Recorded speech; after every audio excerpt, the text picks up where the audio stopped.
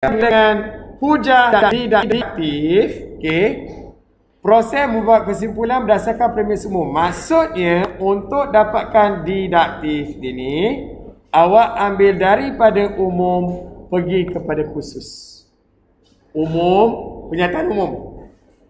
Pergi kepada pernyataan khusus. Itu adalah didaktif. Manakala induktif daripada khusus kamu pergi kepada pernyataan secara umum. Okey. Mari kita tengok macam mana nak tahu umum ke, khusus ke. Okey, cuba tengok contoh.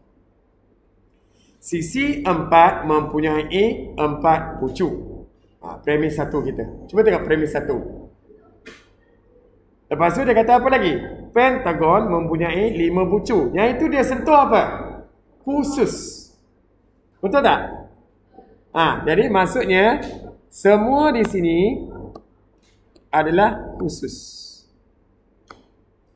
Sekarang tengok pada kesimpulan. Mana kesimpulan? Ni ha kesimpulan dia. Kesimpulan kita tengok bawah ni. Maka semua poligon dengan n sisi mempunyai n bucu. Dah jadi umum.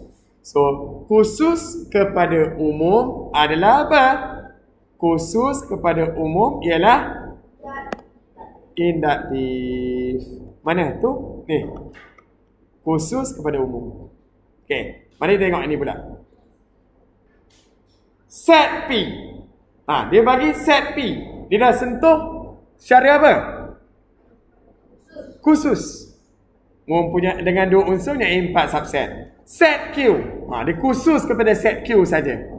Jadi maksudnya premis satu kita ni kedua-dua ni adalah apa? Khusus. Maka, ha, ni bila dia kata maka ni, ni adalah semua set dengan n. Bila ada n unsur mempunyai dua kuasa n subset secara umum. So, khusus kepada umum masih lagi indak induktif.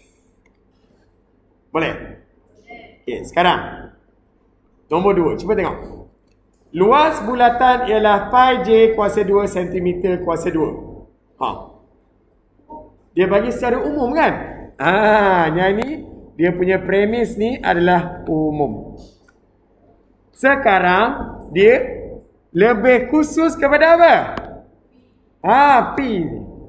Luas bulatan P dengan jari tujuh ialah 49 pi cm kuasa 2. Ni adalah, oh sorry, ah, khusus. Jadi umum kepada khusus dah jadi apa? Didaktif. Okey, nombor tiga. Kita punya premis ni apa? 5 kuasa 2 tolak 3 kuasa 2. Ah, ah, ni lebih khusus. Lepas tu bila awak tengok dekat sini dia dah jadi apa? Ah, dia gantikan dengan pemboleh ubah dah jadi umum. Khusus kepada umum balik-balik jadi induktif. Okay, yang nombor 4. Ha, yang ni awal-awal dia guna apa ni? Diberi. Ha, bukan diberi dia. Ah, ha, dia guna pemboleh ubah kan. Jadi secara umum. Yang ini dia dah khususkan. So, umum pada khusus apa? Didaktif. Boleh faham? Hmm, itu adalah hujah induktif dan didak